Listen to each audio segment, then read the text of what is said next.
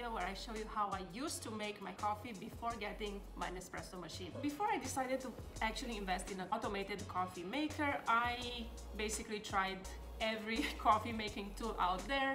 Uh, I was looking for the cheap versions of making coffee at home that tastes great. So I have two actually three equipments that I'm going to show you that are much cheaper than getting a coffee machine and um, I'm going to discuss the pros and cons of each and maybe um, this will help you to decide whether do you actually need a coffee machine or you can uh, use a different coffee maker. So let's get started.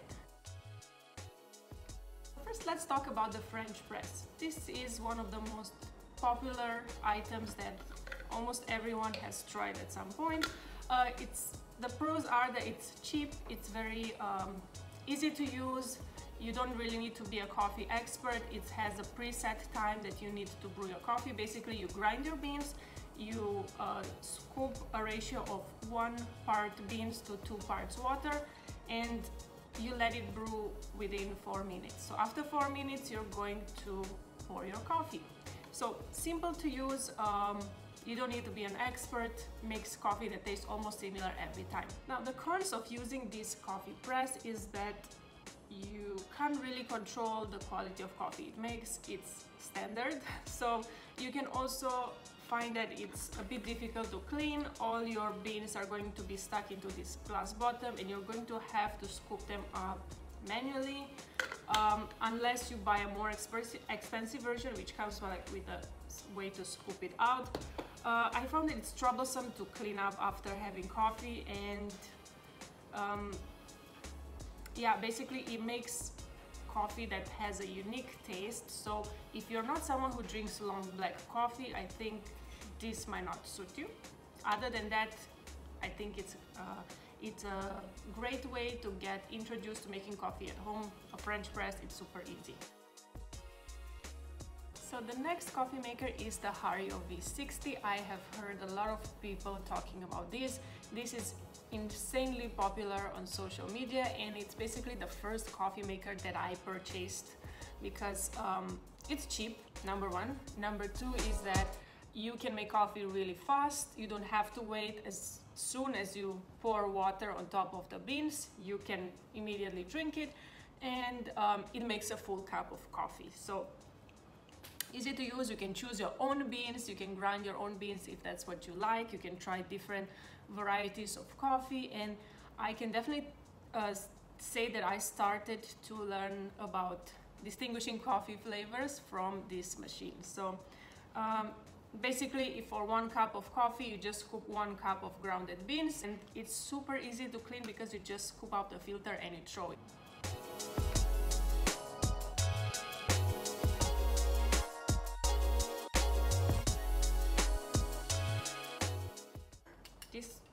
coffee maker here.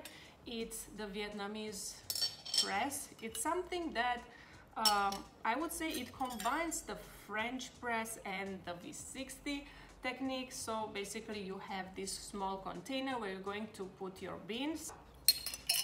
Then you're going to put it on top of your mug or cup and you're going to pour hot water and let it slowly drip. This kind of coffee, I think uh, it works well for darker roast. If you like Vietnamese coffee, Thai coffee, Malaysian style coffee, you can buy Vietnamese type of coffee beans and you can grind them and enjoy your cup of coffee. So you'll usually see the Vietnamese coffee press sitting on top of a, a glass with some condensed milk at the bottom and uh, it slowly drips into the condensed milk and that's how people mostly have it. It's, uh, it makes a very thick and rich kind of coffee that has a sweet taste. Yeah, the disadvantages of this thing is that um, you have to wash a lot of components, there's a lot of parts involved, and if you're not really careful, because this is stainless steel, you can actually burn yourself. I have done it multiple times, I burned myself, because after you pour the hot water, make sure you don't touch it.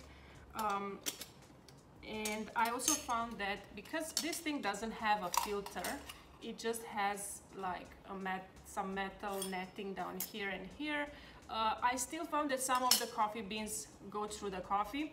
So if that's something that bothers you, you don't like to see them at the bottom uh, of your coffee or floating up in your coffee, uh, I would not recommend this one. The same thing with the French press, you're going to have some of the coffee beans come out in your cup, so it's not as neat and clean tasting as the paper filter. So out of these three, my personal favorite is this one because um, I really like the clean taste of coffee. So if you like coffee that it's mild, it's not full bodied, it's easy to drink, uh, I highly recommend this. This pairs well with medium roasted and even light roasted coffees. So if you're a black coffee drinker, uh, you don't like bitter coffee, you don't like thick espresso style coffees, or you like to drink long cups with slightly, a little bit, a touch of creamer, then uh, this one makes really good coffee. So that is it guys. Uh, I hope you like this video. If you like my video, make sure you subscribe and leave a comment. What other, what is your favorite way to make coffee in your country? And uh, let me know below. Make sure you subscribe, give me a like and a comment, and I'll see you in my next video. Bye bye.